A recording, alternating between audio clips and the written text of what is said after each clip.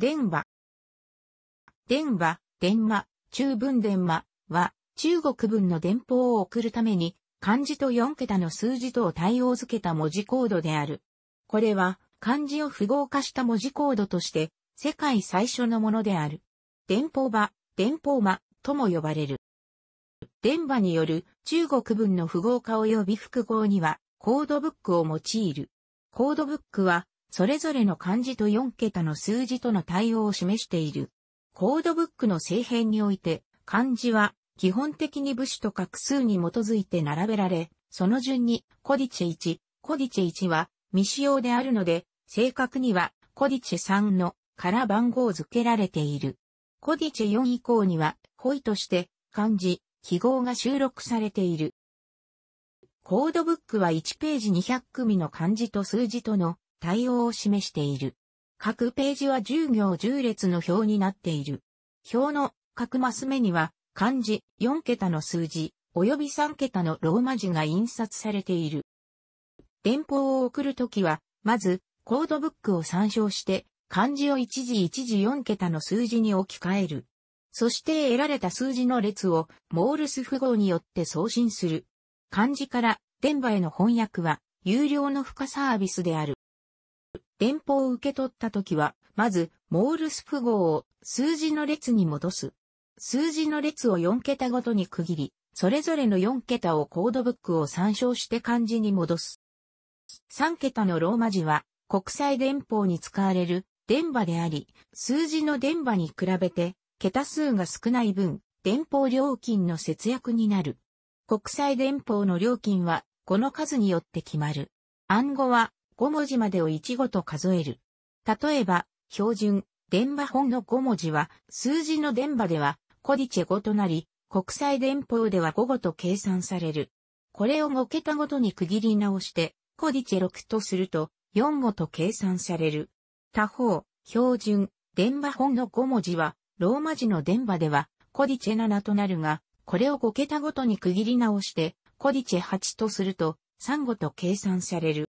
中国における電報事業が1871年にデンマークのグレート・ノーザンテレグラフ社、グレート・ノーザンテレグラフカンパニー、大北電報講師によって始められて、しばらくしてから電話が実用されるようになった。それは、デンマーク人の天文学者、ハンス・シェルルプ、1827年、1887年の仕事を引き継ぎ、上海にいたフランス人、ビギエル、イ、キエツが作ったものであった、三上2002、PP、94、95、安尾から2006、P25。このコードブックは、電報新書として刊行された、駅越1872。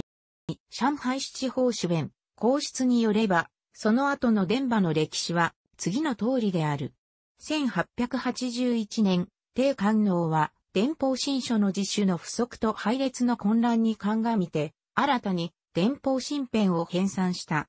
1924年には電報新書の電波の使用が中止された。1929年には中華民国交通部が名密か電話新編を刊行した。1933年、名密か電話新編には、ホイが付加された。電話は、本来、漢字のみを符号化するものであったが、後に拡張され、ラテン文字、記号などを符号化できるようになった。ローマ字3桁の電話も後に加えられた。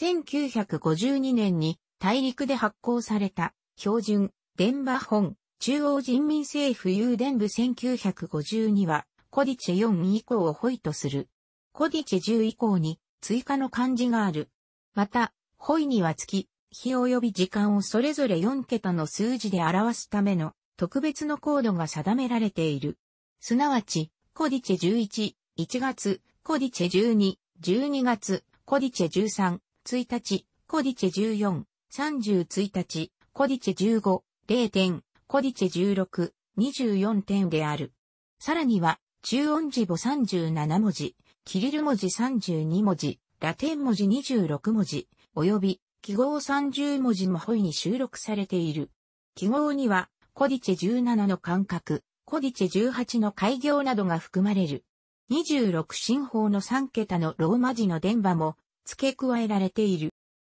また、1983年、中華人民共和国郵電部電信総局は、標準、電話本を大きく改訂した中華人民共和国郵電部1983。改訂の内容は、関下あざ総表及び、印刷通用漢字字形表に、ソタ、関下字の採用、遺体あざ520字及び稀にしか用いない1681字の削除、並びに漢字106字及び記号16字の追加であった。ただし、通信の実情に鑑みて、115字の反対あざ、遺体字は据え置かれた。標準、電話本の文字の配列は、従来より部首と画数順であった。しかし、1983年の改定では、電話はそのままに反対字を漢化字に置き換えたため、部首と画数順の配列が乱れ、文字を検索しにくくなった。その対策として、第一に、ピン音による作品が、下編として設けられた。第二に、簡化により、部首が変わった一部の文字と電波の対応が、各ページの余白に掲載された。例えば、年及び、驚きの部首はそれぞれ、止め及び、馬であった。簡化により、及び、となったため、元の掲載ページに加えて、山の部首のページの余白にも、が、心の部首のページの余白にも、が、掲載された。大陸の電波と台湾の電波は、それぞれ独立に改定されたため、共通する部分を有するものの、同一ではない。特に、コードブックのうちのホイの部分の共通性は、著しく低い。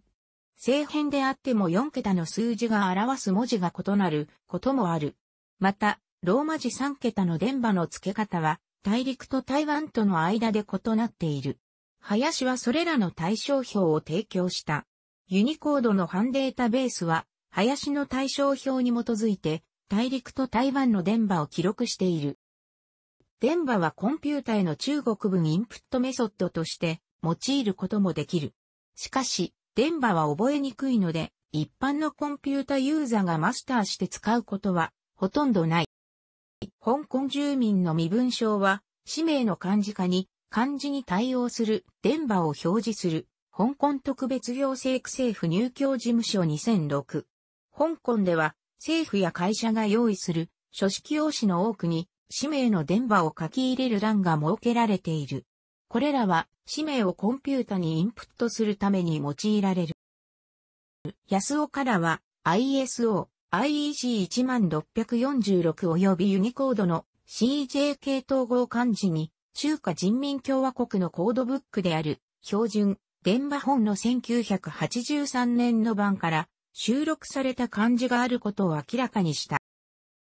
安尾からによると標準電話本の1983年の版に含まれながらギガバイト2312から80などの既存の国内規格に含まれない漢字が58文字あった。それにもかかわらず、最初に CJK 統合漢字を編纂するにあたっては、各国の当時の国内規格に含まれる漢字に限って収録することが中国、日本及び韓国の間の合意となった。そこで中華人民共和国はその58文字が既存の国内規格に含まれていたことにして CJK 統合漢字への収録を達成した。